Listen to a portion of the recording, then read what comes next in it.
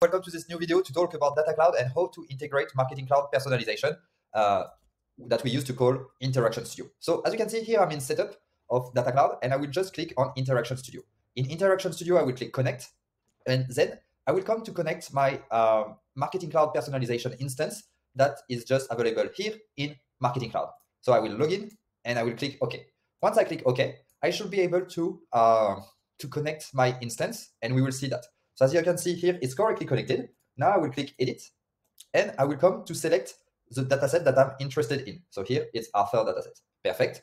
So once Arthur dataset is connected, which is a specific dataset of, of personalization that is here, for example, as you can see, I will be able to go into data stream, create a new data stream, and here Interaction Studio is appearing. So I will click on the bundle. I will select my dataset that I've selected in the setup. And here I have the possibility to select uh, from the bundle what I want. So uh, here I will call it uh, personalization.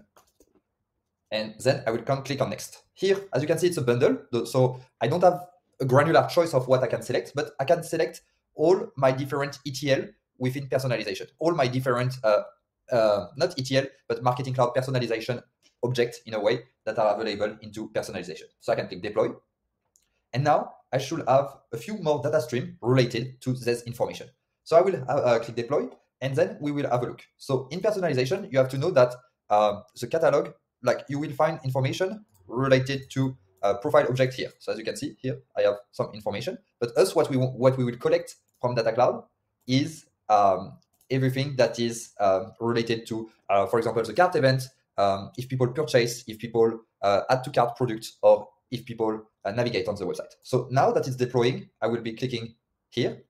And as you can see, I will have a few data streams. All these data streams are here and from personalization. So I will collect my user, um, the catalog, so like the product that are available within the catalog, the order, so when people purchase, um, the cart, and all of that. So now what I can do is I can check the mapping. So as it's a bundle, I can click review. And here I should be able to find um, my mapping directly connected to uh, to my different data model objects. So as you can see here, user in personalization will be connected to the contact point email, the individual object, and the party identification object. So now if I click on data lake object, I can see my data lake uh, object that are from the data stream of personalization. And I will just check uh, to show you my different uh, objects, data model objects that are available here. And all the stream that I've created from personalization are now connected uh, to my individual object. And this will allow me to create segments that integrate the data from personalization, uh, marketing cloud personalization, or as we used to call it, interaction studio. So that's pretty much it. Very easy, very simple on what we can do to integrate marketing cloud personalization with data cloud. If you have any question, please let me know. And thank you for watching this video. Thank you.